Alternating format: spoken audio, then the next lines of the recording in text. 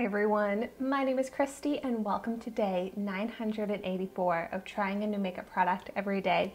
Today I have a really fun e.l.f. product to try out. This is their monochromatic multi-stick that I picked up in the shade Sparkling Rose and I actually picked this up from CVS, which is a mistake that I've now learned because it's more expensive to pick up drugstore makeup from CVS whereas this retails for only $4 at places like Ulta. And it comes in four different shades. And I think this sounds really awesome because you can apply it to eyes, lips, and cheeks. It's cruelty free and vegan. So I'm so excited to see how this looks. Oh, I think I was wrong. I think this actually comes in eight shades. So let's see what Sparkling Rose looks like. Ooh, so this component, this little kind of chubby stick twist up, I have seen many times in actually dollar store products. So it'll be interesting to see if this, I mean, it's still very inexpensive, $4, but it'll be interesting to see if it's worth more than those $1 products that I've tried out. But so let me start out by doing a little swatch. Ooh, nice creamy formula.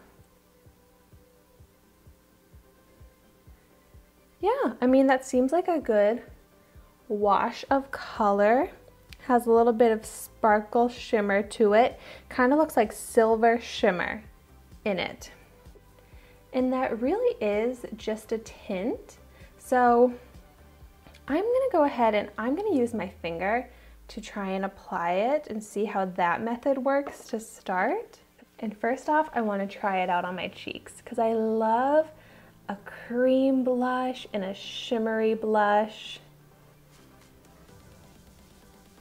And this is like a berry tone. So a good fall winter shade. Yeah, the amount of pigment that this has is a great amount for a blush because it definitely shows up a lot on the cheeks, but it's also still buildable. And I like that it's got some shimmer, like a little bit of sparkle to it, but it still doesn't look too glittery at all on my face. It looks like a tiniest little hint of glitter, which I love. So there's how it looks. I'm not like crazy about this shade. I don't feel like it's the most flattering shade for me see if I go in with a little bit more. Not like that's gonna make it look any better, but I just kinda wanna see how it really shows up. It's definitely buildable and it really gives rosiness to the cheeks. But on my skin tone, it just might be a little bit too dark that it doesn't look flattering. It more looks like, in my opinion, it just kind of looks more like blushing, like a flush to my cheeks, but not in like a cute sun-kissed flush, just more like too rosy on my cheeks. And even like, let's go ahead and try and not add too much. Even if I'm not adding too much though, I still just feel like it's the tone. Like it's just a little too dark for my fair skin to be super natural and flattering. But the formula of it is very nice on the skin and on top of my makeup it looks smooth, it doesn't emphasize texture. So for blush, I think I should go with more like a lighter pink, peachy pink, would just look better for my skin tone. But let's see how this is on my lips. I'm gonna start out with my finger, but maybe I could just apply it directly to my lips. Oh yeah, that's pretty. See, like this is the kind of reddish, rosy pink berry shade that I like on my lips. I like the shade like a darker red on my lips more so than on my cheeks. But I wonder, maybe if I have that monochromatic look of this berry red shade all over my face and all over my makeup look, maybe it'll look more flattering. This is a pretty lip color though. Kind of like a tinted balm with a little bit of sparkle. And it feels very moisturizing and comfortable on my lips.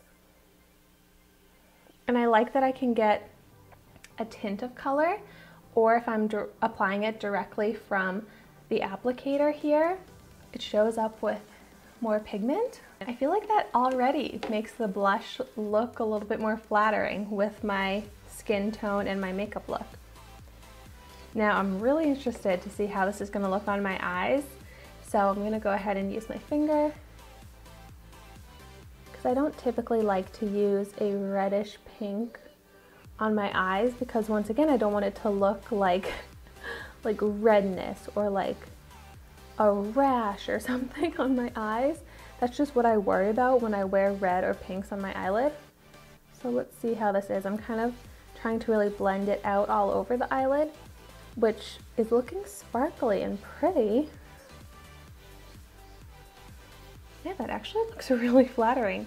Like I really have just a subtle hint of the color, which I think actually looks really good. Like look at how that just emphasizes the eye on this eye compared to this eye. It really does add a lot to the makeup look and it totally pulls the whole look together. It makes the blush look more flattering, the lips look like they go perfectly with the makeup look. Ooh, I'm loving this matchy matchy monochromatic look. And it's so easy. You only need the one product and it's all super flattering and cohesive. And it's only $4 for that one product. And it's super quick and easy to apply because of that cream formula. So it blends out so easily so that I can get that just tint wash of color all over the eyelid, but still see that shimmer sparkle Wow, yeah, I like how this color looks on my eyelids so much more than I was expecting. Like it doesn't look like red, irritated, rashy, which sounds so gross, I'm sorry, type of eyelid look. Like it looks like a pretty, neutral actually, shimmery eyeshadow look. And I'm checking to see if there's any creasing in the lines in my eyelid and there's really not it looks so pretty and flattering. Even so on my lips and my cheeks, I feel like my cheeks look so much more toned down now than when I first applied it.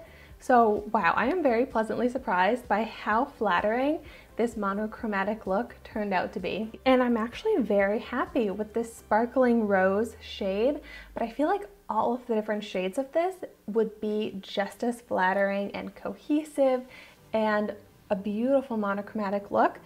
So this is just so fun and it really saves time and it saves products.